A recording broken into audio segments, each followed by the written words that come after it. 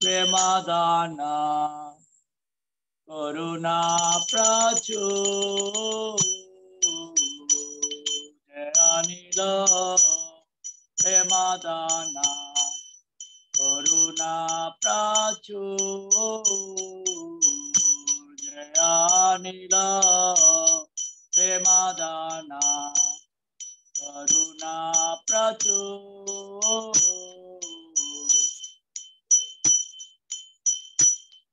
केना प्रभु होता?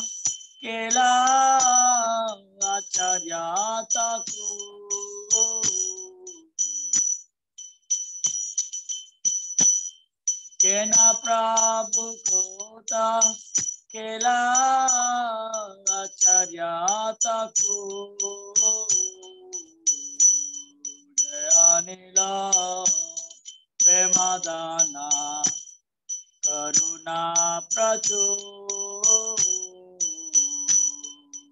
অনিল প্রেমাদানা করুণা প্রচুর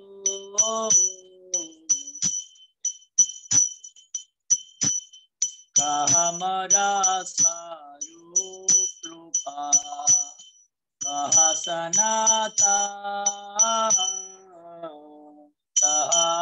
मोरा सारूपा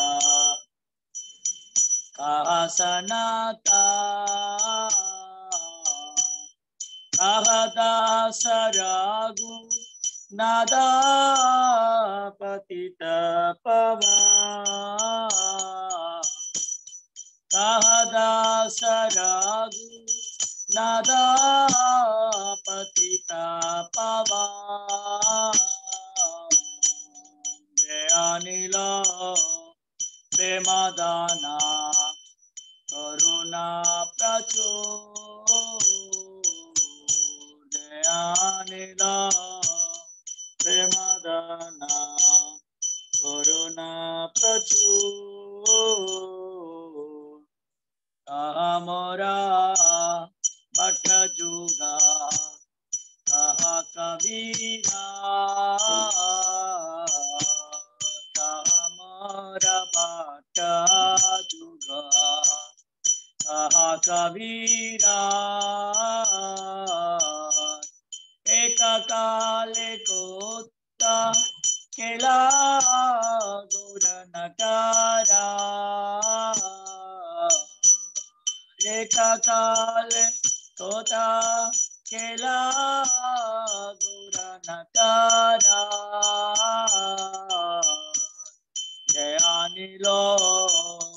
হেমা দানা করুণা প্রচুর প্রেমা দানা করুণা প্রচুর আসনে কোটি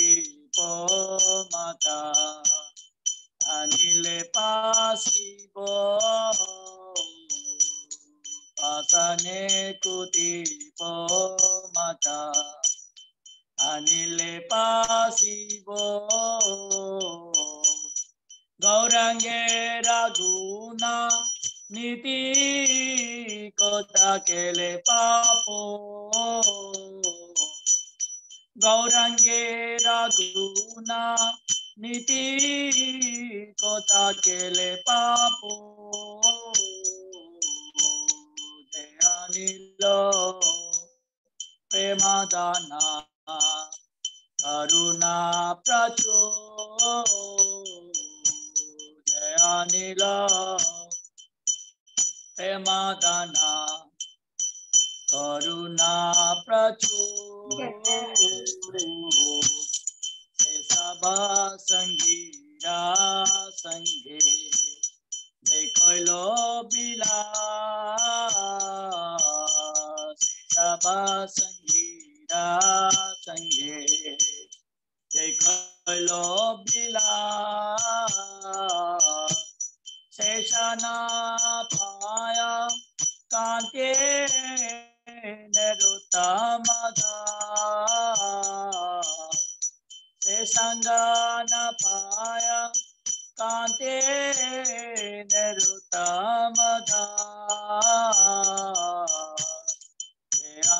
लो प्रेम दाना करुणा प्रचुर अनिल प्रेम दाना करुणा प्रचुर केन प्रभु तो तथा केला अच्छा जाता को प्रभु केला आचर्याता को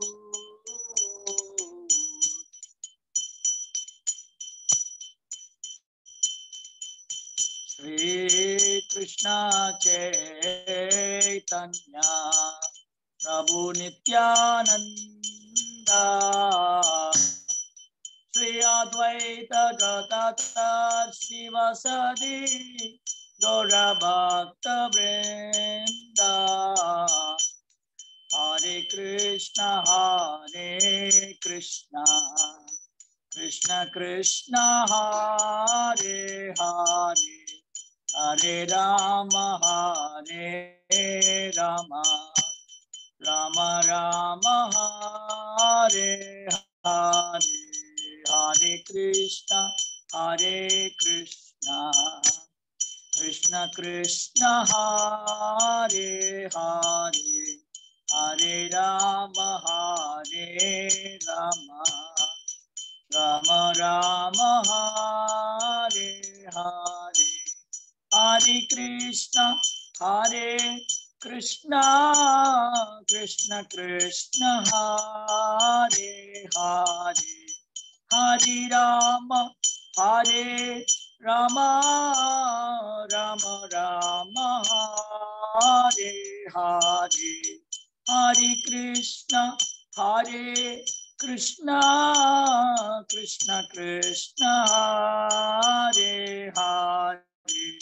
Hare Rama Hare Rama Rama Rama Hare Hare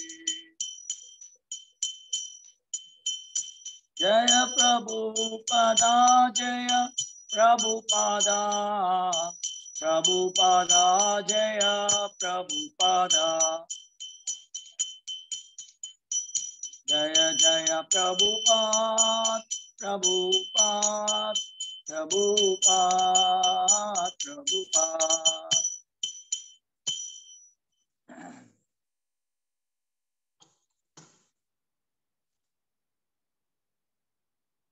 He who brought the treasure of divine love and was filled with compassion and mercy.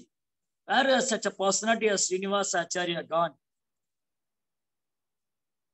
ஆ, தெய்வீகமான அன்பின் இருப்பிடமாகவும் கருணையும் தயையும் உருவாக கொண்ட அந்த சீனிவாசாச்சாரியர் தெய்வீகமான நபர் எங்கு சென்று விட்டார் where are my Swarup Damodar Rupa Goswami where is Sanatana where is Raghunatha Dasa the saviour of the fallen எங்க போனாங்க என்னுடைய ஸ்வரூப் தாமோதர கோஸ்வாமி? எங்க போனாங்க ரூப கோஸ்வாமி சனாதன கோஸ்வாமி? எங்க போனாங்க ரகுநாத தாச கோஸ்வாமி? அவங்க எல்லாம் நம்மை போல வீழ்ந்த ஆன்மாக்களை விடுவிக்கக்கூடியவங்க. கூடியவங்க are Raghunatha Bhatta and Gopala Bhatta and where is Krishnadas Kaviraja where it Lord Gauranga the great dancer suddenly go Raghunatha Bhattar எங்க போனாங்க? கோபால பட்டர் எங்க போனாங்க? கிருஷ்ணதாஸ் கவிராஜ கோஸ்வாமி எங்க போனாங்க? சைதன்ய மகாபிரபு எங்க போனாரு? அவர் அற்புதமாக நடனம் ஆடக்கூடியவர் திடீர்னு மறைஞ்சிட்டாங்களே என்னை விட்டு போயிட்டாங்களே. I will smash my head against the rock and enter into the fire where will I find Lord Gauranga reservoir of all wonderful qualities என் தலையை கொண்டு போய் பாறையில முட்டி முட்டி நான் மாச்சிக்க போறேன் அல்ல நெருப்புல இறங்கி இந்த உடலை வற்ற போறேன் எங்க போனாரு சைதன்ய மகாபிரபு அவர் வந்து தெய்வீகமான குணங்களே நிரம்ப பெற்றவர் அல்லவா being unable to obtain the association of Lord Gauranga by all of of these in in association association perform is past times Narottama Dasa simply weeps. என்ன சொல்ல இந்த மாதிரி தெய்வீகமான சங்கம் சைதன்ய மகாபிரபு தன் சகாக்களோடு நித்தியமாக அன்பு பரிமாற்றம் செய்து கொண்டிருந்தார். அந்த சங்கம் என்ன ஆச்சு? இந்த மாதிரி எல்லாம் போச்சே. நான் நரோத்தமதாஸ் வெறுமனே அழுது கொண்டிருக்கிறேன். கேவி கேவி தேம்பி தேம்பி அழுது கொண்டிருக்கிறேன். ஜெய் ஸ்ரீ தாக்கூர் நரோத்தம் தாஸ் தாக்கூர் கி ஜெய். ஸ்ரீல பிரபுபாத் கி ஜெய். Thakur பிரேமானந்தே. All glories to assembled devotees, Hare All glories to assembled devotees, Hare Krishna. All glories to assembled devotees, Hare Krishna. All glories to all glories to Sri Guru Gauranga. All glories to Sri Prabhupada. जय श्री रघुनाथ दास गोस्वामी त्रिभाव महोत्सव की रघुनाथ भट्ट गोस्वामी त्रिभाव महोत्सव की कृष्णास कविराज गोस्वामी त्रिभाव महोत्सव की Srila Prabhupada ki. गौर Premanande Hari Hari.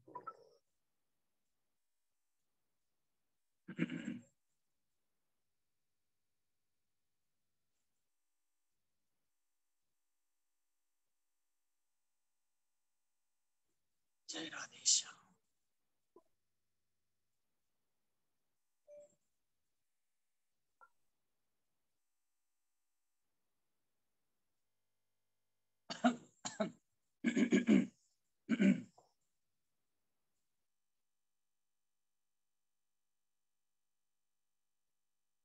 ओमाज्ञानतिमिरान्धस्य ज्ञानांजनचलाकया तत्सरुन्मिलितं येन तस्मै श्रीगुरुवे नमः। नमो विष्णुपादाय कृष्णप्रेष्ठाय भूतले, श्रीमदे भक्तिवेदान्त स्वामीति नामिने। नमस्ते सारस्वतिदेवे गौरवाणी प्रचारिणे। निर्विशेषशून्यवादी पाशाततेशतारिणे जय श्री कृष्ण चैतन्य। प्रभु नित्यानंद श्री अद्वैत कथातर श्रीवासदि गौरभक्त वृंद हरे कृष्णा हरे कृष्णा कृष्ण कृष्णा हरे हरे हरे राम हरे राम राम राम हरे ஹரே ஹரே ஹரே கிருஷ்ணா அனைத்து ஹரே பக்தர்களுக்கும் கிருஷ்ணா. இன்றைய சத்சங்க வகுப்புல வந்து கலந்துருக்கிற எல்லா பக்தர்களுக்கும் என்னுடைய பணிவான நமஸ்காரம். இன்று ஒரு மங்களகரமான தினத்துல நம்ம எல்லாரும் ஒன்று சேர்ந்திருக்கோம். இன்றைக்கு மிகவும் கௌடிய வைஷ்ணவருக்கு மிகவும் முக்கியமான ஒரு தினமும் ஆஹ், ஒரு அற்புதமான ஒரு சுப தினம். இன்று மூன்று பெரும் ஆச்சாரியருடைய மறைவு தினம். ரகுநாத தாச கோஸ்வாமி ரகுநாத பட்ட கோஸ்வாமி கிருஷ்ணதாஸ் கவிராஜ கோஸ்வாமி. பெரும் பக்தர்கள். ஸ்ரீ சைதன்ய மகாபிரபுடைய நித்தியமான சேவகர்கள். இந்த கோசாமிகளுடைய வாழ்க்கை நமக்கு என்ன பாடம் கத்துக் கொடுக்குது? இவங்கெல்லாம் எதுக்காக இந்த பூமியில தோன்றுனாங்க? இவங்களுடைய வாழ்க்கை வரலாறு சரித்திரம் நமக்கு உண்மை போதிக்கக்கூடிய பாடம் பாடம் என்ன? இன்றைக்கு நம்ம ரகுநாத பட்ட கோசாமியுடைய சரித்திரம் நமக்கு உணர்த்தும் பாடம். ரகுநாத பட்ட கோசாமி ஆறு கோசாமிகள்ல ஒருவர். இந்த ஆறு கோசாமிகள் ஸ்ரீ சைதன்ய மாப்புடைய மிக நெருக்கமான சகாக்கள். சைதன்ய மாப்பால் ஆசீர்வதிக்கப்பட்டவங்க மகாபிரபுக்கு மிக பிரியமானவங்க. ஸ்ரீரூப சனாதன பட்ட ரகுணா ஸ்ரீஜீவ கோபால பட்டதாச ரகுணா.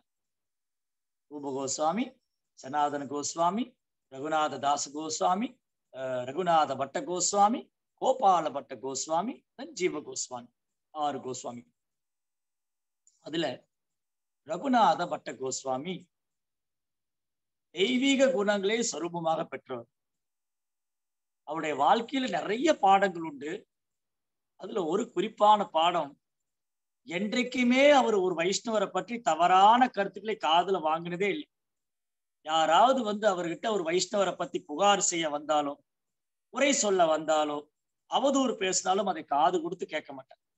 அவர் பேசியதும் இல்லை அவர் கேட்டதும் இல்லை. தன் வாழ்நாள் முழுவதும் இந்த ஒரு விஷயத்துல நிலைப்பாடோடு உறுதியாக இருந்தார். யாரு?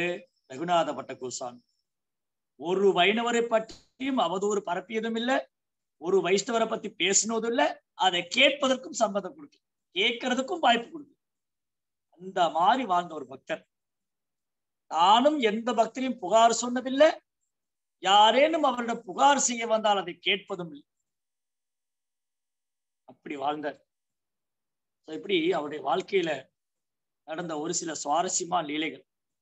அது மூலம் நாம் கற்றுக்கொள்ளக்கூடிய பாடம். அவருடைய தந்தையார் பெயர் தபான் மிஸ்ரா. தபான் மிஸ்ரா ஒரு பெரும் பண்டிதர். இறந்த பிராமண குலத்துல பிறந்தார். இன்றைக்கு வங்க தேசம் வங்காள தேசம் என்று அழைக்கக்கூடியது அன்றைக்கு கிழக்கு வங்காளம். இந்த வங்காள தேசம் கூட பாரதத்துலதான் இருந்தது. அப்ப என்ன இருந்தது? பாரத பாரதத்தோடு இந்தியாவோடு இருக்கும்போது மேற்கு வங்காளம் கிழக்கு வங்காளம் ரெண்டு பாகமா இருந்தது. அதுக்கப்புறம் முகலாயர்கள்லாம் வந்து சண்டை பண்ணி எல்லாம் இது பண்ணி எல்லாம் அது கிழக்கு வங்காளம் தனியா பிரிஞ்சு போச்சு. இன்னைக்கு கிழக்கு வங்காளத்தில் நிறைய முகலாயர்கள் இருக்காங்க. யவன குலத்தை சார்ந்தவங்க. அதுல நிறைய துன்பங்களும் செய்து கொண்டிருக்கிறார்கள். விஷ்ணு பக்தியை வந்து தொந்தரவு செய்யற மாதிரி இன்னைக்கு கூட சமீபத்துல ஒரு கோயில்ல வந்து அவங்க துஷ்பிரயோகம் செஞ்சிருக்கிறாங்க. இந்த அசுரத்தன்மை உள்ளவங்க. எல்லோரும் அதனால மோசமானவங்கன்னு சொல்ல முடியாது. யார் ஒரு ஒரு ஆத்மீக பாதையை பின்ப மார்க்கம் எந்த மார்க்கமும் வன்முறையை தூண்டுவதே அல்ல. எல்லா மார்க்கமும் இறைவனை நம்ம எவ்வாறு அடைவது? பாவ வாழ்க்கையிலிருந்து எப்படி விடுபடுறது? பாவ வாழ்க்கையிலிருந்து விடுபட்டு இருக்கணும் எந்த ஒரு ஜீவனையும் துன்புறுத்தக்கூடாது. நம்முடைய செயல் இறைவனை திருப்திப்படுத்துற மாதிரி இருக்கணும் இறைவனை நோக்கி நம் பிரயாணம். நாம் செய்யக்கூடிய பிரயாணமானது இறைவனை நோக்கி இருக்க வேண்டும் என்று ஓரொரு மார்க்கமும் பறைசாற்று. ஆனா சில விஷக்கிருமிகள் சில விஷமிகள் என்ன பண்றாங்க? அதை துஷ்பிரயோகம் செய்வாங்க. பொறாமைக்காரர்கள் அசுர கொடூர குணம் படைச்சவங்க அவங்களும் இருக்கத்தான் செய்யறாங்க கழிவு அப்ப பங்களாதேஷ் பங்களாதேஷ் கிழக்கு வங்காளம் ஒரு காலத்துல பெரும் பக்தர்கள் இருந்து இன்னைக்கும் நிறைய பக்தர்கள் இருக்காங்க. ஆயிரக்கணக்கான பக்தர்கள் கிழக்கு வங்காளத்துல. அவங்களை போல நம் சரணாகதி செய்து வாழ முடியாது. இந்த மாதிரி பக்தர்கள்.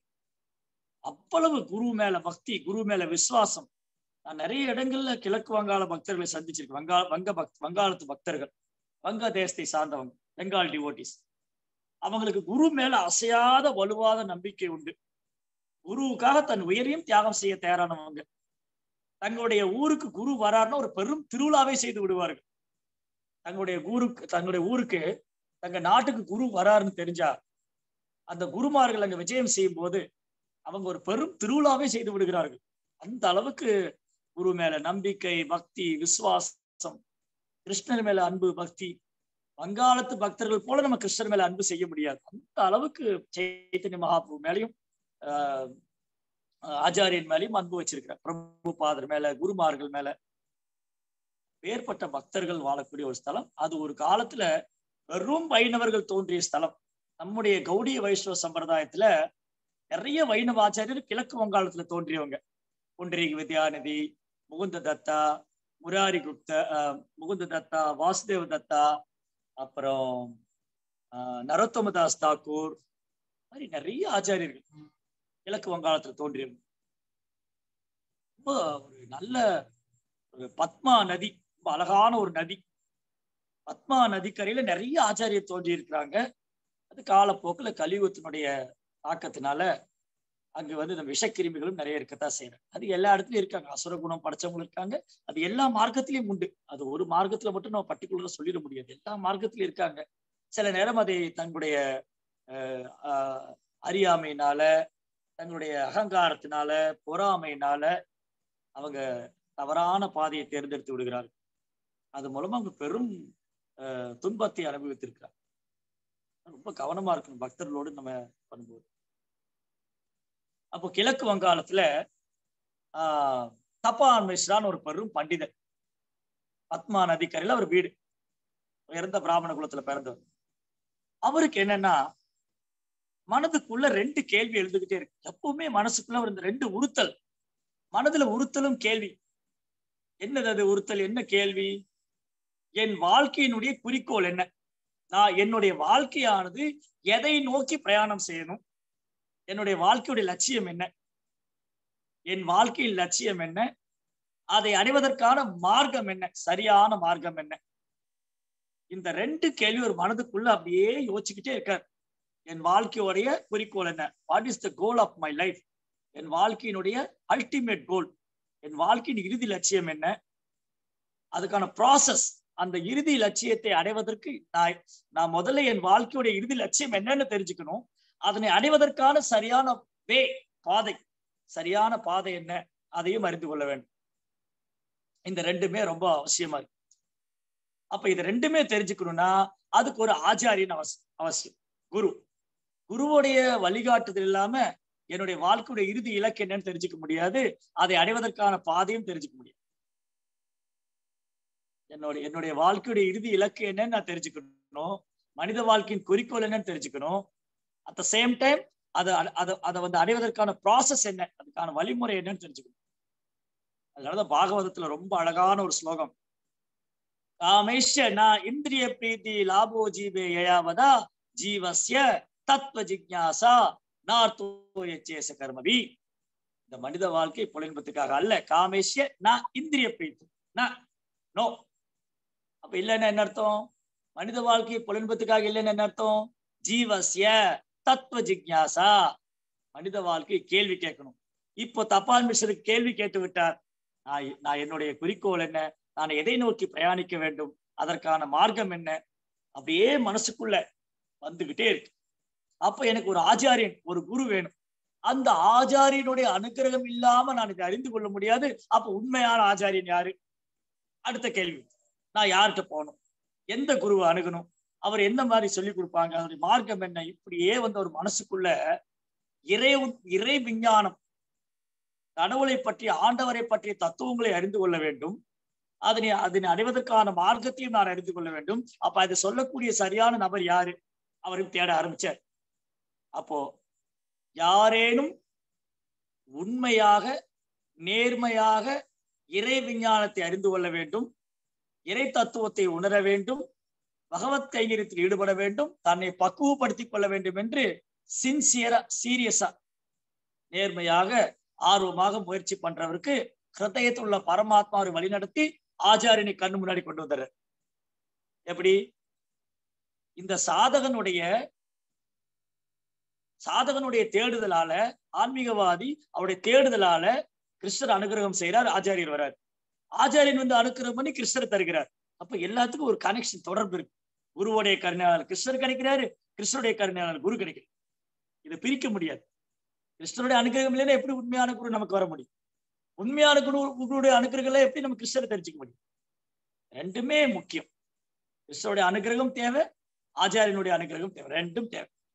இப்ப தப்பான் மிஷனுக்கு அப்படி ஒரு ஆச்சாரியன் தேவை இருக்காது அப்போ ஸ்ரீ சைதன்ய மகாபுரு ஒரு தெய்வீகமான ஒரு லீலை செய்தார். அவரு ஐநூறு வருஷத்துக்கு முன்னாடி இந்த இந்த இந்த லீலை நடக்கிறதுல ஒரு ஐநூறு வருஷத்துக்கு முன்னாடி உண்மையா நடந்த லீலை சும்மா நம்ம டைம் பாஸ்க்கு ஏதோ பேசி போறதுக்காக பேசுது உண்மையா நடந்த சம்பவம். சைதன்ய சரித்தாமிரதம் சைத்தன்ய பாகவதம் இது மாதிரி பல கிரந்தங்கள்ல இந்த கதை இந்த இந்த சரித்திரம் இடம்பெற்றிருக்கு இவங்க வாழ்ந்த இடங்கள் சந்திச்ச இடங்கள் இதெல்லாம் இன்றைக்கு போனா நம்ம பார்க்கலாம். பங்களாதேஷ்ல இன்னைக்கும் இதெல்லாம் பார்க்கலாம். அப்ப என்ன நடந்தது? அப்ப சைத்தன்ய மகாபிரபு நிமாய் பண்டிதர் அப்படின்னு சொல்லி ஒரு பெரும் பண்டிதனாக அவதீபத்துல ஒரு மிடுக்கான ஒரு பெரும் பண்டிதனா வளம் வர்றார். நிமாய் பண்டிதருடைய பாண்டித்யத்தை அறிந்து கொண்டு பல ஊர்களிலிருந்து அவர்கிட்ட இலக்கணம் படிக்கிறதுக்காக சமஸ்கிருத இலக்கண வகுப்பு நடத்துவார். சான்ஸ்கிரிட் கிளாஸ் அப்போ நிமாய் பண்டிதருடைய பாண்டித்யம் அறிந்து கொண்டு பல ஊர்கள்ல இருந்து நிமாய் பண்டிகிட்ட சாஸ்திரம் படிக்கிறதுக்காக வரும் ஏன்னா நவதீபம் ஒரு காலத்துல மேற்கு வங்காளத்துல நவதீபம் பாண்டித்யத்துக்கு பெயர் போன ஊரா இருந்து வெறும் பண்டிதர்கள் வேத விற்பனர்கள் மிராஸ் மிஸ்ரர்கள் பட்டாச்சாரியர்கள். இந்த மாதிரி பிராமணர்கள்ல பண்டிதர்கள் பல வகைப்பட்டவர்கள் மிஸ்ரர்கள் பட்டாச்சாரியர்கள் சாரஸ்வதியர்கள் தீர்த்தர்கள் இந்த மாதிரி நிறைய பேர் இருக்கு. அந்த மாதிரி உள்ளவங்க அங்க சாஸ்திரம் படிக்க வருவாங்க. அப்ப நிமாய் பண்ணிட்டு நிறைய பேர் படிச்சுக்கிட்டாங்க. அப்போ ஒரு நாள் நிமாய் பண்டிதர் என்ன பண்ணாரு? தன்னுடைய அன்னை சச்சி மாதா சச்சி மாதாட்டையும் தன் மனைவி லக்ஷ்மி பிரியா லக்ஷ்மி பிரியா தேவி சைத்தன்யமாக்கு ரெண்டு மனைவி வந்து லக்ஷ்மி பிரியா இன்னொன்று விஷ்ணு பிரியா ஸ்ரீதேவி பூதேவி. அப்போ ஒரு முறை அவங்க தன் அன்னையிட்ட போய் சொன்னாங்க அம்மா கிட்ட நிமாய் பண்டிதர் அம்மா நான் கிழக்கு வங்காளம் யாத்திரை போகலான் இருக்கிறேன். அங்க போய் அங்க உள்ளவங்களுக்கு நான் வந்து பாடம் நடத்தி அதுல வருமானம் செய்தேன் ஏன்னா அவர் ஒரு ஒரு ஒரு ஒரு- ஒரு சைத்தன்ய மகாபிரபு பரம புருஷோத்தமனான முழுமுதற் கடவுள். அதுல எல்லா அளவும் சந்தேகம் கிடையாது. எந்த ஒரு எல்லா அளவும் சிறிதும் சந்தேகம் இல்லை. அது சாஸ்திரங்கள்ல வலுவாக ஸ்தாபனம் செய்யப்பட்டிருக்கிறது. ஆனா மகாபிரபு ஒரு சாதாரண பக்தனை போல இந்த பூமியில தோன்றி தூய்மையான கிருஷ்ண பக்தியை ஸ்தாபனம் செஞ்சுட்டு வந்தார் அப்போ ஒரு குடும்பஸ்தரா இருக்கு.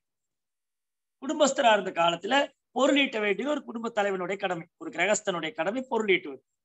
அப்ப தன் குடும்ப பராமரிப்புக்காக கிழக்கு வங்காளத்துல போய் நான் சமஸ்கிருத வகுப்பு நடத்திட்டு வர்றேன் அப்படின்னு மகாபிரபு தன் அன்னையான சச்சி மாதாவிடம் விடைபெற்று கொண்டு கிழக்கு வங்காளம் யாத்திரை வர்றார். ஆனா அதுல உண்மையான நோக்கம் என்னன்னா தப்பான் மிஸ்ருக்கு அருள் பாலிப்பது பகவானுடைய ஒரு லீலையில பல்வேறு அற்புதங்கள் நடந்தது கிரேட் நிமாய் பண்டிட் மிக பெரும் நிமாய் பண்டிதர் கிழக்கு வங்காளம் வந்திருக்கானதும் ஆயிரக்கணக்கான பேர் அவர் தரிசனம் பண்ண வர்றாங்க.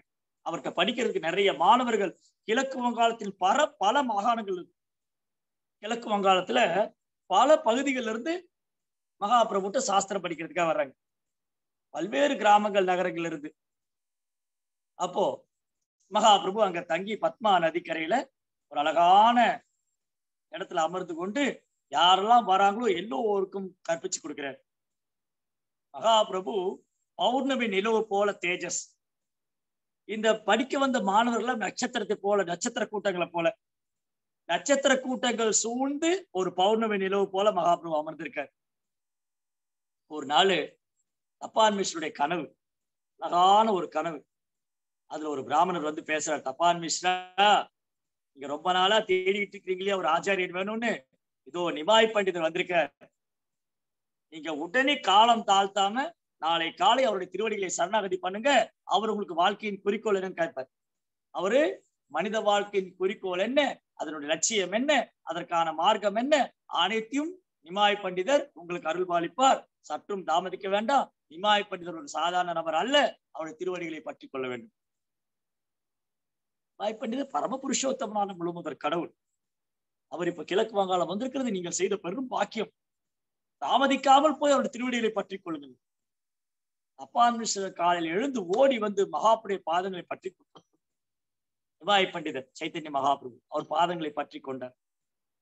கண்ணிலிருந்து வந்த கண்ணீராலை அபிஷேகம் ஓ பண்டிதரே? நாங்கள் இங்கு விஜயம் செய்து நான் செய்த பாக்கியம் தங்களுடைய திருவடிகளை சேவிப்பது. நிமாய் பண்டிதர் அமர்ந்திருக்கிறதை கண்டார். பௌர்ணமி நிலவை சுத்தியும் நட்சத்திர கூட்டங்களை போல அமர்ந்திருக்கார். அவர் பௌர்ணமி நிலவு போல தேஜஸ் தாமரை போல கண்கள் பறந்து விரிந்த தோள்கள் முழங்கால் வரை நீண்ட கரங்கள். ஆஜானு லம்புத புஜோ கனகாபதாரோ விஸ்வம்பரோ திஜவரோ இக தர்ம பாலோ சங்கீர்த்தனை கரிப்பரோ கமலாய தாக்ஷோ விஸ்வம்பரோ திஜவரோ. புதமான பிரார்த்தனை. அஜானு பலம் பொருந்தி அதாவது பறந்து விரிந்த தோல் அஜானு பாகன் அஜானு பாகம். ஆஜானு லம்புத புஜோ கனகாவதாரோ கனகா மிஸ் கோல்டு பொன்னிறத்துல. கனகாவதாரோ விஸ்வம்பரா. இந்த அகிலத்தோட ஆதாரம் சைத்தன்யமாவுடைய பேரு விஸ்வம்பர். இந்த அகிலத்துக்கு ஆதாரம் அகிலத்தையே தாங்கி இருப்பவர். விஸ்வம்பரோ திஜவரோ யுக தர்ம பாலோ இந்த இந்த யுகத்துக்கான தர்மத்தை ஸ்தாபனம் செய்ய வந்தவர். சங்கீர்த்தனை ஸ்தாபனம் செய்ய வந்தவர். அப்படி அற்புதமான ஒரு பிரார்த்தனை. சைத்தன்ய பாவத்தின் முதல் ஸ்லோகம். சரி என்ன நடந்துச்சு? தப்பான் மிஸ்ருடைய பாதங்களை பட் தப்பான் மிஸ்ரர் சைத்தன்ய பாபுடைய பாதங்களை பற்றி கொண்டார்.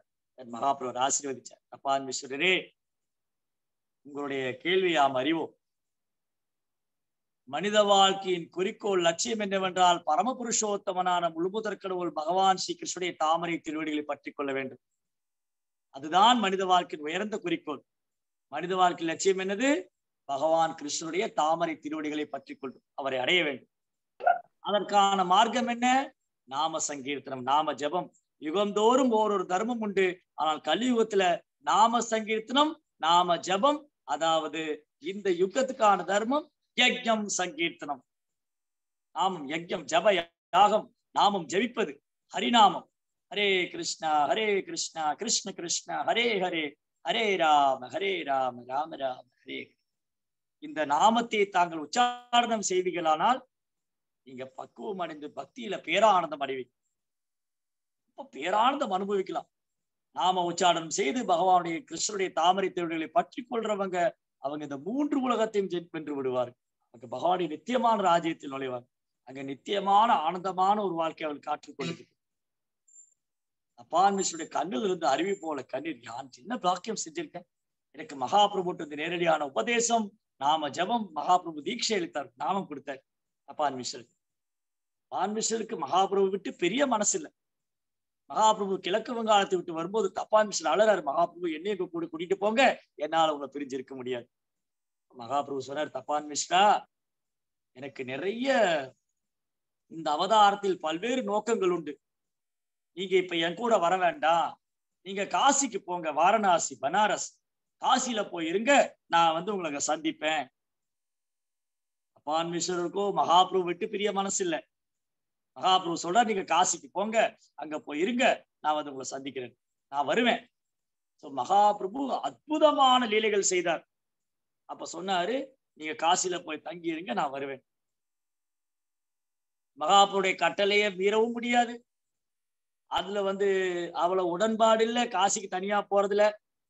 ஏன்னா காசியில ஒன்றும் பெரும் பக்தர்கள்லாம் கிடையாது. காசி நகரம் மாயாவாதிகளுடைய கோட்டை. ஐநூறு வருஷத்துக்கு முன்னாடி காசியில மாயாவாதிகள் அருவவாதிகள் சூன்யவாதி கடவுளுக்கு ரூபம் கிடையாது கடவுளுக்கு தலை கிடையாது கை கிடையாது கால் கிடையாது அவர் அருவமானவர் ஒளி வடிவானவர் ஜோதி வடிவானவர் அப்படி சொல்லி வழிபாடு செய்யறவங்க பிரம்மவாதிகள் சூன்யவாதிகள்.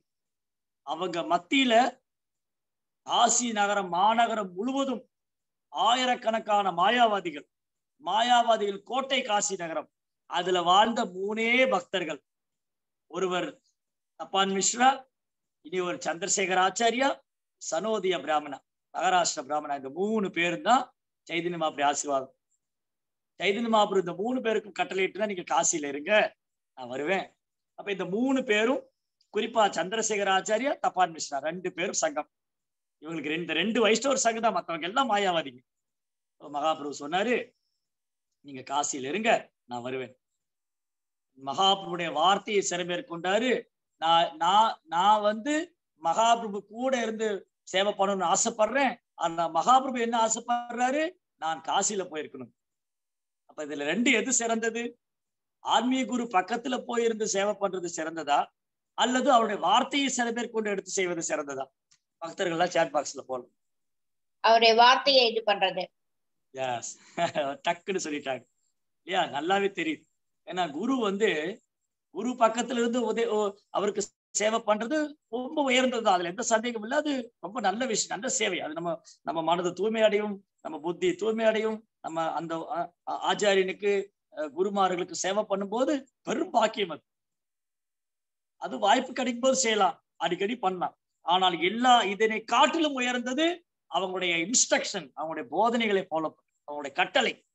அவங்க நம்ம கிட்ட என்ன விரும்புறாங்க என்ன கட்டளை இடுறாங்க என்ன சொல்றாங்களோ அதை சிறமேற்கொண்டு செய்வதுதான் பக்க அருகில் இருந்து சேவை செய்வதோட சால சிறந்தது.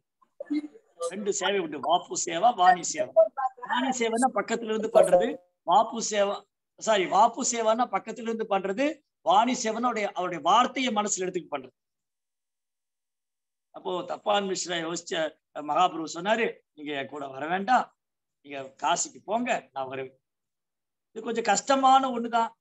ஆச்சாரியனை பிரிஞ்சிருக்கிறது. அதுவும் ஆச்சாரியர் மட்டுமல்ல ஒரு பரம புருஷோத்தமன் முழுமுதற் கடவுள் நிமாய பண்டிட் சைத்தன்ய மகாபிரபு அவரை பிரிந்து யாராலும் வாழ முடியாது அவருடைய சகாக்களால் அந்த அளவுக்கு அவரை நேசிக்க அன்பு வச்சிருக்காங்க தப்பான் ரொம்ப கஷ்டம் வலி அழுறாரு மனதெல்லாம் வலிக்குது.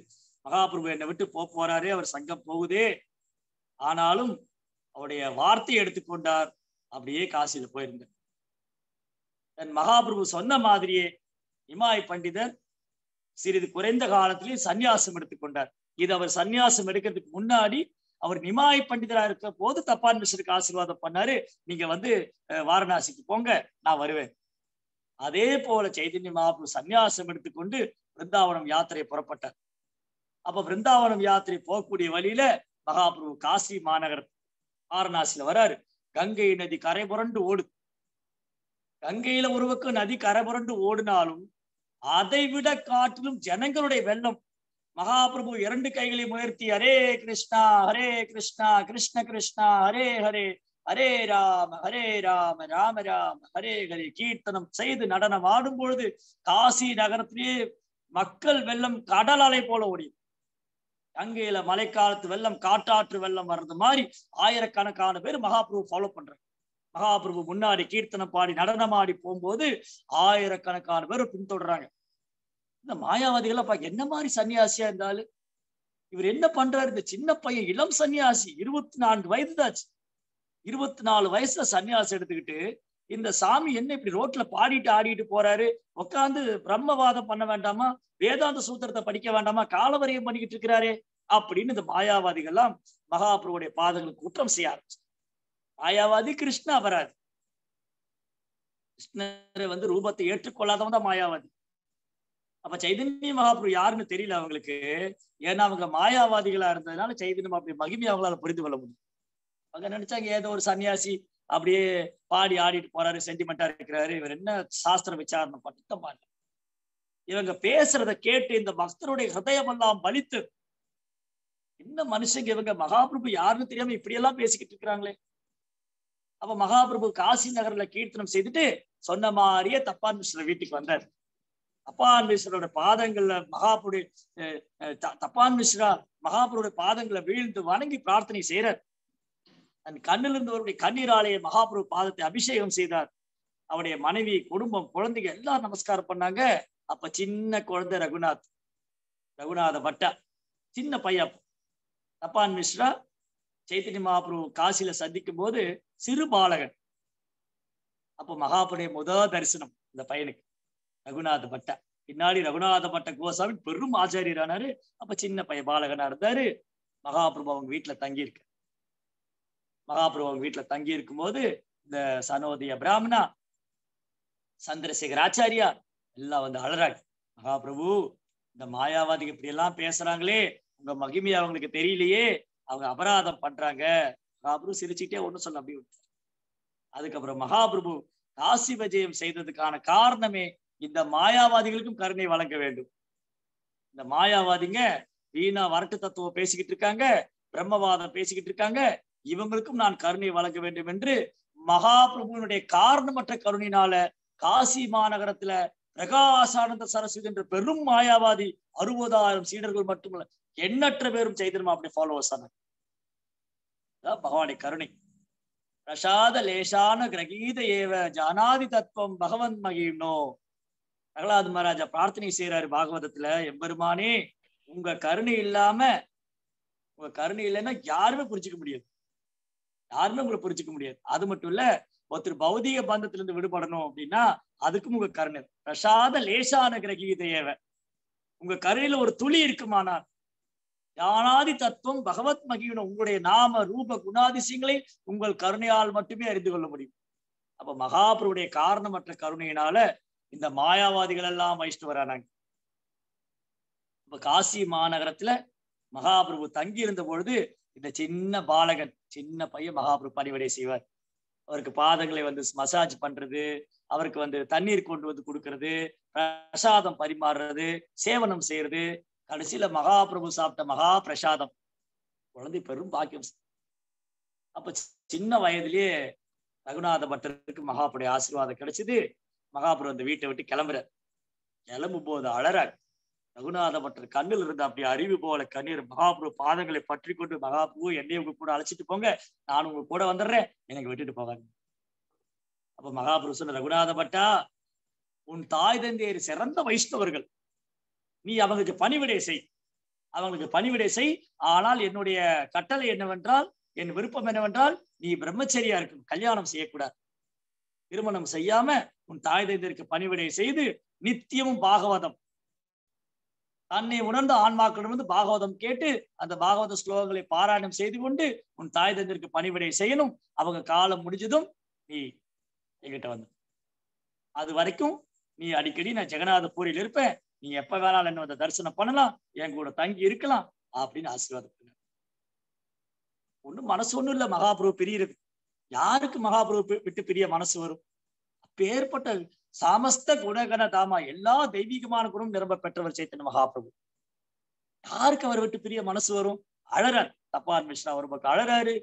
ரகுநாத தா ரகுநாத பட்ட கோசாமி அழுது அப்படி மயங்கி விழுந்தார். மகாபிரபு பிரிய ஒண்ணும் மனசு இல்லை. சரி மகாபிரபு அவங்கள ஆசீர்வாதம் பண்ணிட்டு கிளம்பிட்டாங்க.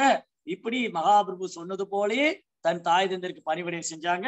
அப்போ ஒரு நாள் சொன்னாரு த ரகுநாத பட்டா நான் போய் சைதன்ய மாப்பிள்ளை தரிசனம் பண்ணிட்டு வரட்டுமா? ஜெகநாதபுரி போயிட்டு வருமா? தாராளமா போயிட்டு வரும். மகாபுடைய சேவை தானே நமக்கு முக்கியம். அதுதான் வாழ்க்கையின் குறிக்கோள். பகவானுடைய சேவனம் அவருடைய திருவடிகளை சரணாகதி செய்திருப்பது. மகனை ஆசீர்வாதம் பண்ணி அனுப்பிச்சாங்க. ரகுநாத பட்ட கோஸ்வாமி பிருந்தாவனம் சாரி ஜெகநாதபுரி வந்தார். ஜெகநாதபுரியில வந்து செய்து நம்ம அப்படி தாமரை திருவடிகளை சேவனம் செய்து அவருக்கு ஒரு சின்ன ஒரு சந்தேகம் வந்துருச்சு. என்னன்னா சின்ன பையனா இருக்கும்போது மகாபிரபு அங்க காசியில வச்சு சந்திச்சது. அப்புறம் சில வருடங்களுக்கு அப்புறம் ரகுநாத பட்ட ஜெகநாதபுரி வராரு. ஒருவேளை மகாபிரபு என்ன ஞாபகம் வச்சிருப்பாரோ? என்ன மறந்திருப்பாரோ? தெரியுமோ தெரியாதோ? சரி ஏதோ ஒண்ணு. நம்ம மகாபிரபு திருவடியில சேவனம் பண்ணுவோம். அவருடைய ஆஸ் அவருடைய தரிசனம் கிடைச்சாலே போதும். இந்த அடியேனே நான் ஒரு நான் ஒரு சாதாரண ஒரு இன்சிக்னிபிகண்ட் ஒரு ஒண்ணுமில்லாத ஒரு சாதாரண ஜீவாத் என்ன ஒண்ணும் மகாபிரபு ஞாபகம் வச்சிருக்கணும் அவசியம் ஒண்ணு உண்டு ரொம்ப பணிவு. கோசாமிகள்னாலே பணிவு எளிமை துறவு சகிப்புத்தன்மை அனைத்து தெய்வீகமான குண உள்ளவங்க. மகாபிரபு பக்தர்கானே வைராக்கிய வைராக்கியமே பிரதானமானவங்க. ரகுநாத பட்டருக்கு துளி கூட பௌதிகத்துல பற்றுதல் கிடையாது. மகாபிரபுடைய ஆசீர்வாதத்தினால அவருக்கு எந்த ஒரு பௌதிக சிந்தனையும் இல்ல. அவர் பிரம்மச்சரிய விரதம் இருக்கு அப்போ மகாபிரபு அஹ், பக்தர்கள் குலாம்ல ரகுநாத பட்டா வந்து அப்படி சாஷ்டமா நமஸ்காரம் பண்றாரு. மகாபிரபு ரகுநாத பட்டா உன் தந்தை நல்லா இருக்காரா? தப்பான் மிஸ்டர் எப்படி இருக்காரு? அவ்வளவுதான். அவர் கண்ணுல இருந்து அப்படியே கண்ணீர் அருவி மாறி வந்து மகாபிரபுகளை மறக்கவே இல்லையே. என்ன மறக்கவே இல்லையே? எப்படி இருக்கும்? அப்படி ஒரு சந்தோஷம் உள்ளுக்குள்ள. மகாபிரபு என்னையும் ஞாபகம் வச்சு இந்த ஒரு சாதாரண ஒரு வீழ்ந்த ஒரு கீழே ஆத்மா கூட ஞாபகம் வச்சுட்டு இருக்காரு மகாபிரபு. ஒரு கண்ணுல இருந்த அறிவு மாதிரி கண்ணீர் மகாபிரபு அப்படியே ஒரு தோலோடு எடுத்து கட்டி தழுவிக்கிட்டார். அப்போ ஒரு குறிய காலம் ஒரு கொஞ்ச காலம் மகாபிரபு கூட தங்கி இருந்தாரு. ஒரு நல்ல சமையல் பண்ணுவார். ரகுநாத பட்டா வந்து ரொம்ப அழகா சமைப்பார். பிரசாதம் எல்லாம் தயார் பண்ணுவார். அப்ப தன்னுடைய கையாலே ரகுநாத பட்டர் மகாபிரபுக்கு பிரசாதம் செய்து பரிமாறினார். மகாபிரபு ரொம்ப சுவைத்து சாப்பிட்டாரு. பேரானந்தம் அடைச்சு இப்படி கொஞ்ச காலம் மகாபிரபுவோட தங்கி இருந்துட்டு ரகுநாத பட்டர் திரும்பி வந்து திரும்பி வந்து தன் தாய் தந்தையருக்கு பணிவிடை செய்தாரு. அவங்க அந்த உடலை விடக்கூடிய நேரம் அவருடைய தாய் தந்தையர் இந்த உடலை விட்டு வைகுந்த ஆத்மீக லோகத்துக்கு போக போறாங்க அப்ப கூப்பிட்டு சொன்னாங்க ரகுநாத பட்டா உனக்கு ஞாபகம் இருக்கா? சைத்தன்ய மாப்பிள்ளை என்ன சொன்னாரு? எங்களுடைய காலத்துக்கு அப்புறம் அவருடைய திருவடிகள்கிட்ட வர சொன்னிருக்கா இல்லையா? நீ திரும்ப நாங்க இப்போ இந்த உடலை விட்டு போக போறோம். நாங்க உங்களை மனமாற ஆசீர்வதிக்கிறோம். நீ அஹ், சைத்தன்ய மாப்பிள்ளை சேவைக்கு போகணும். தாய் தந்தையருடைய மறைவுக்கு அப்புறம் அவங்களுக்கு அந்த இறுதி சடங்கெல்லாம் பண்ணிட்டு ரகுநாத பட்டா சைதன்யம் அப்படி திருவடிகளையே தியானம் செய்து கொண்டு அப்படியே கிளம்புறார் யாத்திரா. இங்கிருந்து காசி வாரணாசிலிருந்து ஜெகநாதபுரிக்கு வர அப்ப வர வழியில ராமதா இது ஒரு இது இது ரொம்ப அழகான ஒரு பாடம். பக்தர்கள் ஸ்ரத்தையோட கேட்டாதான் புரியும். இல்லாட்டி என்னன்னு குழப்பமாயிடும்.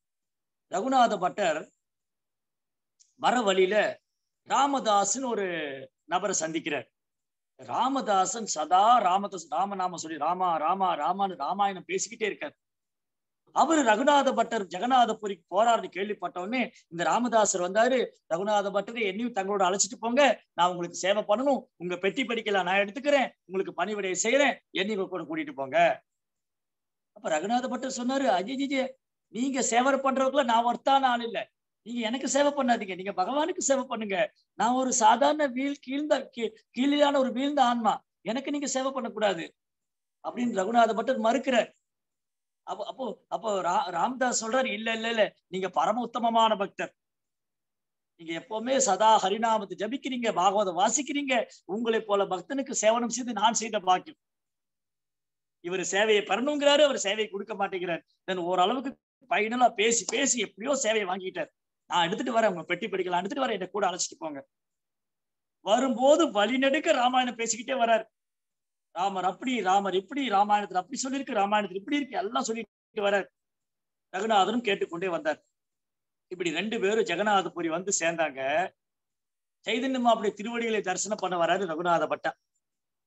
ரகுநாத பட்டா வீழ்ந்து அப்படி தண்டம் தரையில் விழுவது போல வீழ்ந்து நமஸ்கரிச்சாரு. மகாபிரபு அப்படி அப்படியே தோலோடு எடுத்து கட்டி தழுவிக்கிட்டாரு. ரெண்டு பேரும் கண்ணில் இருந்த அருவி போல கண்ணீர் மகாபிரபு ஆசீர்வச்சார் ரகுநாத பட்டர். ரகுநாத பட்டா சொன்ன மாதிரியே நீ உன் தாய் தந்தர் பிரிவுக்கு அப்புறம் வந்துட்ட.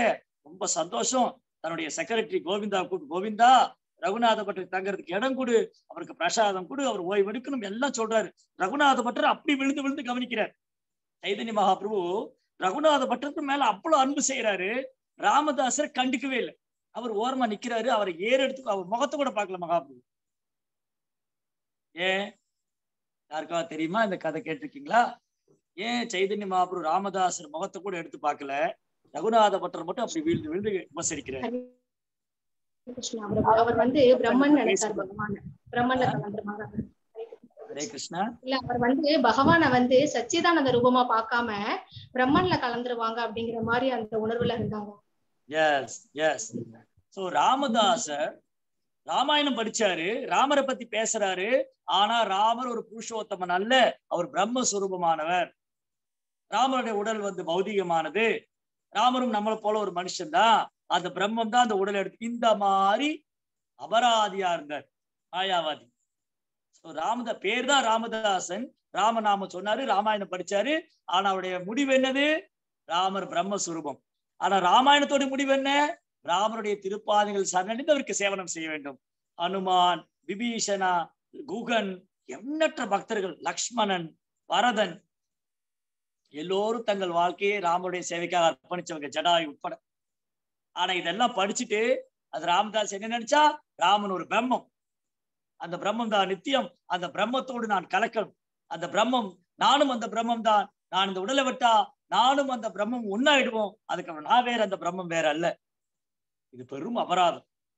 அதனால மகாபிரபு அவருக்கு தரிசனம் கொடுக்கவே இல்லை, கருணை காமிக்கவே ராமதாசரை விலக்கி விட்டார். ஆனா கோப ரகுநாத பட்டர் மேல பெரும் அன்பு கொண்டார். ஏன்னா ரகுநாத பட்டா கலங்கமில்லா பக்தன். எந்த ஒரு பௌதிக நோக்கம் கிடையாது எந்த ஒரு எதிர்பார்ப்பும் கிடையாது எந்த ஒரு சிந்தனையும் கிடையாது எந்த ஒரு உள்நோக்கம் அல்ல. அவருக்கு ஒரே ஒரு நோக்கம் மகாபுடைய சேவனம். அவருக்கு சேவனம் செய்ய அவர் திருப்திப்பட்டார். வேற எந்த ஒரு உள்நோக்கம் அல்ல. களங்கம் இல்லாத பக்தர் ஒரு கள்ளம் கபடம் இல்லாத தூய்மையான தெளிந்த நீரோடை போட உள்ள ஒரு மனது ரகுநாத பட்டர். அப்ப மகாபிரபு ஆசிரமத்தை தங்க சொன்னாங்க அவருக்கு எல்லா வசதி பண்ணி தர சொன்னார். வழக்கம் போல ரகுநாத பட்டர் ரொம்ப அழகா சமைத்து அது மகாபிரபுக்கு பரிமாறுவார். விதவிதமான பலகாரங்கள் செய்து பிரசாதம் தயார் செய்து அது தன்னுடைய கையாலேயே தயார் செய்து அதை சைத்தன் மகாபிரபு பரிமாறுவார். மகாபிரபு ரொம்ப சந்தோஷமா சாப்பிடுவார். இப்படி மகாபிரபு சேவனம் போக மீதி உள்ள நேரத்துல பாகவத ஸ்லோகங்களை வாசிப்பார். அப்படி ஐந்து ஆறு ராகத்துல ஒரு ராகம் மட்டுமல்ல ஐந்து ஆறு ராகங்கள்ல அற்புதமாக வாசிப்பார். அவருடைய அவருடைய வாய்ஸ் இருக்கு இல்லையா? அது குயில் போல குயில் பாடுறது போல அப்படி ஒரு ஸ்வீட் அண்ட் சாஃப்ட் வாய்ஸ் நம்ம எல்லாம் பேசினா கிளாஸ்ல கூட எழுந்துச்சு ஓடிடுவாங்க. அந்த மாதிரி நம்ம வாய்ஸ் எல்லாம் இருக்கும். பாபா சாமி நீங்க பாடிடாதீங்க சாமின்றுவாங்க. ஆனா ரகுநாத் தாஸ் கோசாமி பாடினாலும் ஸ்லோகங்கள் வாசித்தாலும் அது அப்படியே குயிலுடைய சவுண்டு அந்த ஒரு ஓசை. அப்படி ஒரு இனிமையான குரல். இனிமையான குரல். அப்படி அழகா பாகவதம் எல்லாம் வாசிச்சு தினமும் நித்தியம் பாகவதம் தினமும் பாகவதம் வாசிப்பாரு மகாபிரபு சேவனம். இப்படி ஒரு எட்டு மாத காலம் ஒரு எட்டு மாத காலம் ர ரகுநாத பட்ட கோஸ்வாமி சைதன்ய மகாபிரபுட தங்கி அவருக்கு பணிவிடையெல்லாம் செய்து பாகவதம் எல்லாம் வாசிச்சு ரொம்ப ஆனந்தமா இருந்தது. அப்போ ஒரு நாள் சைத்தன்ய அப்படி கூப்பிட்டாரு ரகுநாத பட்டரு அப்படின்னு சொல்லி அவர் ஆசீர்வாதம் பண்ணி அவருக்கு துளசி மாலை கண்டி மாலா தன்னுடைய துளசி மாலையை அவருக்கு பரிசா கொடுத்தார். அதுக்கப்புறம் ஜெகநாதருடைய தாம்பூலம் அதையும் கொடுத்து அவர் ஆசீர்வாதம் பண்ணி நீங்க விருந்தாவனம் போங்க. பிருந்தாவனத்துல போய் ரூப கோசாமி சனாதன் கோசாமி கூட இருந்து பக்தியை பயிற்சி பண்ணுங்க அப்படின்னு சொல்லி ரகுநாத பட்டரை ஆசீர்வாதம் செய்து அவர் விருந்தாவனத்தான் மகாபுரு மகாபுரு பிரிய ஒன்றும் மனசு இல்லதான். ஆனா மகாபுடைய கட்டளை இருக்கே. இதுதான் அவர் விரும்புறாரு. நான் விருந்தாவனம் போகணும். சரி மகாபுடைய ஆசீர்வாதம் பெற்றுக்கொண்டு ரகுநாத பட்டர் பிருந்தாவனத்துக்கு வந்தார். பிருந்தாவனத்துல வந்து ரொம்ப ரொம்ப பணிவா எளிமையா ரூப கோசாமி சனாதன் கோசாமியுடைய பாதங்களை சரண் புகுந்து அவங்களுக்கு சேவனம் செய்து அவங்களுக்கு பிரசாதம் தயார் செய்து ரகுநாத பட்டர் தன் சொந்த சகோதரனை போல ஏத்துக்கிட்டாங்க. கோசாமியுடைய வாழ்க்கை இருக்கு இல்லையா? அது நமக்கெல்லாம் பெரிய பாடம். யாருக்குள்ளயும் எந்த ஒரு தேசமும் கிடையாது. போட்டி கிடையாது. பொறாமை கிடையாது. நீ சிறந்த கோசாமியா நான் சிறந்த கோசாமியா நீ பெரியவனா நான் பெரியவனா எந்த ஒரு இதுவும் கிடையாது. நான் தான் வந்து இந்த கௌடிய மடத்துக்கு அதிபர் நான் தான் மடாதிபதி எந்த ஒரு ஈகோ ஃபால்ஸ் ஈகோ பொய் அகங்காரம் தற்பெருமை கர்வம் ஆணவம் தூளி கூட அவர்கிட்ட அதனாலதான் அவங்களாம் உத்தமமான பக்தர். சகோதரர்களை போல நண்பர்களை போல அவ்வளவு அன்பு பரிமாற்றம். ஒரு கோசாமி இன்னொரு கோசாமி எந்த ஒரு ஒரு ஒரு புகழ்ந்து கொள்வாங்களே தவிர ஒரு கோசாமின்னு ஒரு கோசாமி புகழ்ந்து கொள்வாங்களே தவிர ஒருபோதும் அவதூறு பேச மாட்டாங்க அவங்களுக்கு மத்தியில சைதன்ய மாபுரம் ஸ்ரீ சைதன்ய மாபுரம் நடுவுல வச்சு கொண்டு இவங்க எல்லாம் சேவை பண்ணதுனால அவங்களுக்கு எல்லாம் எந்த ஒரு காழ்ப்புணர்ச்சியோ அல்ல பேதமோ அல்ல ஈகோவோ ஃபால்ட் பைண்டிங் குற்றம் காண்பதோ குறை சொல்வதோ எந்த இடத்துலயுமே கிடையாது. அது பெரும் பக்தருடைய சரித்திரம் படிச்சு படிச்சு நம்ம மனசுல ஞாபகம் வச்சுக்கணும். பக்தர்கள் சங்கத்துல போகும்போது வைஷ்ணவர்களை வைஷ்ணவர்களா காண வேண்டும். அவங்கள்ட்ட குறை காணக்கூடாது குற்றம் செய்யக்கூடாது. அப்புறம் அந்த வைஷ்ணவர் மத்தியில நான் தான் சிறந்தவன் மார்பு தட்டி கொள்ளக்கூடாது. நான் நிறைய படிச்சிருக்கேன் எனக்கு எல்லாம் தெரியும். அப்படியே பணிவா இருக்கும் எல்லாம் தெரியும். வீண் இருமாப்பு கொள்றது அகந்தை கொள்றது தற்பெருமை பேசுறது இதெல்லாம் அழிவுக்கான பாதை. ஒரு நாளும் பக்தியில முன்னேற்றம் அடைய முடியாது. அப்ப என்னாச்சு? இந்த ஆறு கோசாமிகளும் அப்படி அன்பு செய்து கொண்டு எளிமையாக பணிவாக சேவனம் செய்து சைதன்ய மாப்பிடைய கட்டளையை நிறைவேற்றுவது அவங்களுடைய லட்சியம். சைதன்ய மாப்பிடைய கட்டளையை நிறைவேற்ற வேண்டும். ஒருவருக்கு ஒருவர் சேவனம் செய்து கொண்டு அன்பு பரிமாற்றம் பண்ணி கதைகள் எல்லாம் பேசி அப்படி ஆனந்தம். ரகுநாத பட்டர் வந்து ரூப கோசாமிக்கு சனாதன் கோசாமிக்கும் சேவனம் செய்து கொண்டு ரூப கோசாமியுடைய ஆலயம் ராதா கோவிந்த தேவர். அந்த கோவிந்த தேவருக்கு பணிவடையை செய்து கொண்டு பிரசாதம் தயார் பண்ணி ரெண்டு பேருக்கு பரிமாறும் ரூப கோசாமிக்கு சனாதன் கோசாமிக்கு பிரசாதம் பரிமாறுவது கோவிந்த தேவருக்கு பூஜைகள் செய்து அவரை ஆராதனை செய்வது அப்புறம் பாகவதம் வாசிக்கிறது. அங்க உட்காந்து ரொம்ப அழகா பாகவதம் வாசிப்பார். அப்போ ஒரு முறை ஒரு பெரிய செல்வந்தர் கூட வந்து ரகுநாத பட்டர்கிட்ட பாதங்களை சரண் புகுந்து அங்க ஒரு பெரிய பிரம்மாண்டமான கோயில் கட்டினார். ஏழு அடுக்கு மாடி. பிருந்தாவனத்திலே வைத்து மிக பிரம்மாண்டமான கோயிலா இருந்தது ரூபகோசாமியுடைய அந்த ராதா கோவிந்த தேவருடைய கோயில். ஏழு அடுக்கு செவன் ஸ்டார்கேஸ் ஏழு அடுக்கு கோபுரம். அது பின்ன அவுரங்கசீப் மாதிரி அசுரத்தன்மை உள்ள மன்னர்களால பொறுத்துக்க முடியல. அவுரங்கசீப் ஒரு நாள் அவங்க அரண்மனையில மேல இருந்து பாக்குறாரு. அப்ப மனைவி சொல்றா பாருங்க பிரபு அந்த கோயில் எவ்வளவு அழகா இருக்கு. ஏழு அடுக்கு கோபுரம் ரொம்ப அழகா இருக்கே இவனுக்கு பொறுத்துக்க முடியும் உடனே இப்போ எல்லாத்தையும் உடைச்சிட்டான். ஒரே ஒரு அடுக்குதான் ஆறு அடுக்கு கோபுரத்தை உடைத்து விட்டான் அவுரங்கசீப். மாதிரி கொடூரமான குணம் படைத்த அரக்கத்தன்மை உள்ள அஹ், மன்னர்களா இருந்திருக்கிறாங்க. ஒரு காலத்துல. அப்போ அந்த மாதிரி ரகுநாத பட்டர் பிருந்தாவனத்துல தங்கிட்டு மற்ற வைஷ்ணவர்களால் சேவனம் செய்து ரொம்ப பணிவாக எளிமையாக தன் வாழ்க்கையை நடத்தினார். நம்ம முன்பே பேசின மாதிரி தொடர்ந்து நித்தியம் பாகவத சேவனம் வைஷ்ணவ சேவை ஒருபோதும் அபராதங்களை கேட்பதோ பேசுவதோ இல்லை. அவதூறு பேசுறதில்லை அவதூறுகளை கேட்பதும் இல்லை. அது தன் வாழ்க்கையுடைய குறிக்கோளாக வைத்திருந்தார். மகாபிரபு கொடுத்த கொட்டலையும் ரொம்ப அழகா நிறைவேற்றினார். பாகவதம் வாசிக்கிறது வைஷ்ணவ சேவை பண்றது பிரம்மச்சரிய விரதத்தை கடைபிடித்து மிகச்சிறந்த ஒரு ஆச்சாரியரா தான் ரகுநாத பட்ட கோஸ்வாமி அவருடைய மறைவு தினம் என்று பாருங்க எவ்வளவு அழக அழகான பாடம். வாழ்க்கையினுடைய இறுதி லட்சியம் ஜெகநா கிருஷ்ணர் தான் பகவான் தான் ஜெகநாதர் தான் மகாபிரபு தான். அவரை நாம் அடைவதற்கு சரியான மார்க்கம் பக்தி மார்க்கம் நாம ஜபம். பின்பு பாகவதம். வாசிக்கிறது வைஷ்ணவருக்கு சேவை பண்றது. ஒருபோதும் அவதூறுகளை பேசுவதும் இல்லை அவதூறு கேட்பதில்லை அப்படி ஷட்ரு போட்டுறணும். எப்போ? அவதூறு யாராவது பேச வந்தா காதுக்கு ஷட்ரு போட்டுறணும். காதை மூடிடணும்.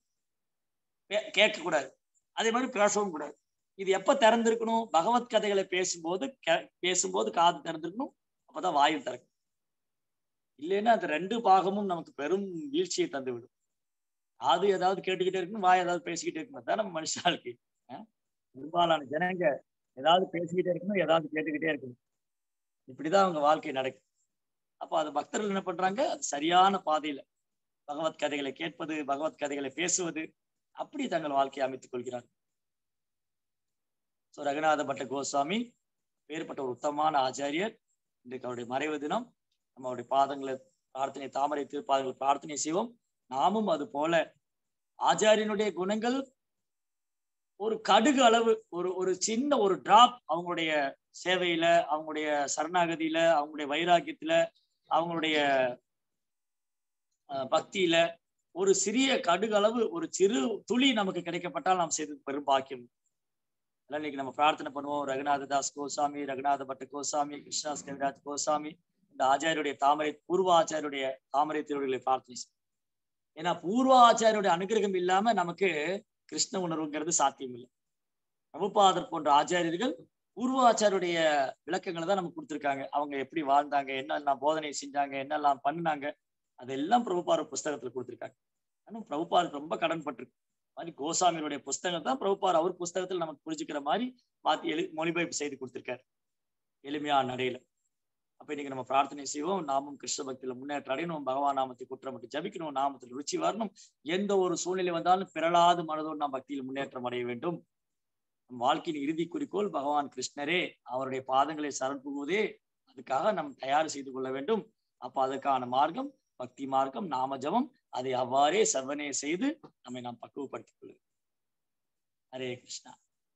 ஜெய் சில பிரபுபாத் கி ஸ்ரீ ரகுநாத பட்ட கோஸ்வாமி கி ஜெய். ஹரே கிருஷ்ணா. பக்தர்கள் யாருக்கேனும் ஏதேனும் கேள்விகள் சந்தேகங்கள் உங்க கருத்துக்கள் எதா இருந்தாலும் பதிவிடலாம்.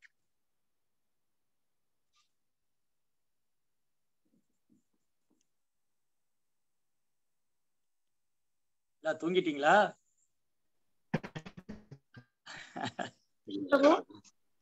ஹரே கிருஷ்ணா. கிருஷ்ணா பிரபு? தண்டோத் பிரணாம் பிரபு. என்ன பிரபு? சொல்லுங்க. இன்னைக்கு நல்லா இருந்துச்சு பிரபு நல்ல நிகழ்ச்சி. நான் ரெண்டு தடவை கேட்டேன் பிரபு காலை மத்தியானமும் கிளாஸ் எடுத்திருந்தீங்களோ? அஞ்சு அஞ்சு. மணில இருந்து பண்ணீங்க பிரபு. அப்ப நான் பாதியோட தான் வந்தேன். அந்த கதையும் நல்லா இருந்துச்சு பிரபு. இப்பவும் நல்லா இருக்கு. பிரபு. ரொம்ப நல்லா இருந்துச்சு. இப்போ ஒரே ஒரு கேள்வி பிரபு இது இப்போ இத பத்தி கேள்வி கேட்கல வந்து நம்ம வந்து வீட்ல பால் வாங்குறோம். அது பசும்பால் காய வச்சு கிருஷ்ணருக்கு நெய்வேத்தியம் பண்ணிட்டு அது பிரசாதமா எடுத்துக்கிறோம். இதே இது பாக்கெட் பாலும் வாங்குறோம். அத வைக்கலாமா பிரபு? பாக்கெட் பால் வைக்கலாம். என்ன செய்யறது ஆவின் பால் சொல்லிட்டு அதான் பண்றது? நம்ம ஏதோ ஒரு நம்பிக்கையில வாங்கி சாப்பிடுறோம் பாக்கெட் பால்லாம்.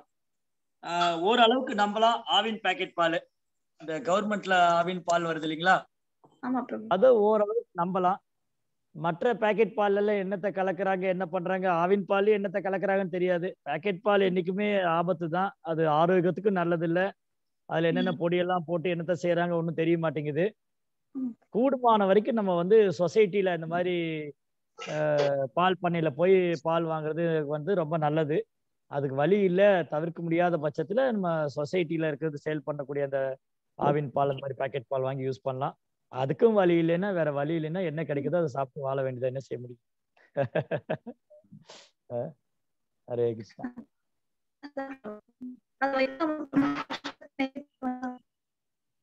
உங்க வாய்ஸ் பிரேக் ஆகுது. நீங்க என்ன கேக்குறீங்க கேட்க மாட்டீங்க அது வைக்கலாமா பிரபு? அந்த காய்கறி வைக்கலாமா பிரபு?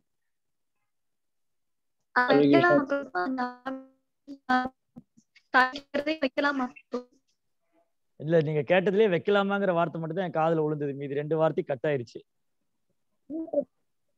அந்த ஆறு அதையும்